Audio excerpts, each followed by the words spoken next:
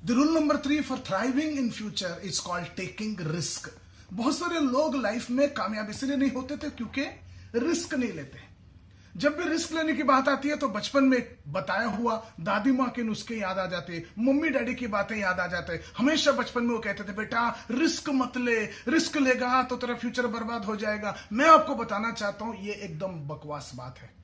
आज के फ्यूचर में थ्राइव करना है तो रिस्क लेना पड़ेगा। क्योंकि याद रखें, रिस्क नहीं लेना, उससे भी ज़्यादा खतरनाक रिस्क है।